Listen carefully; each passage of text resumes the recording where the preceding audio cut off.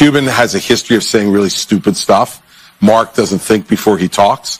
Um, and He's that's got a lot of money. You, well, uh, by the way, if Just that were a saying. So does of Elon intelligence, Musk. uh, you know, You can't argue then- with the then success of the. Uh, I think- but, I but think- I, I I think he's think pretty that, like, and, and he is, but he says stupid things because he doesn't think before he talks. But he often. also walked it back. It genuinely wasn't what he meant. I talked to him yesterday. Yeah. He wouldn't. He knows I worked for Trump. He wasn't directly insulting Right. me to my face. He was talking about Trump will only allow a certain level of pushback from advisors before he casts you out. But uh, listen, it doesn't pro- mean it wasn't messy. Right. The the, pro- the problem with all that is that people listen to what you Yeah. say.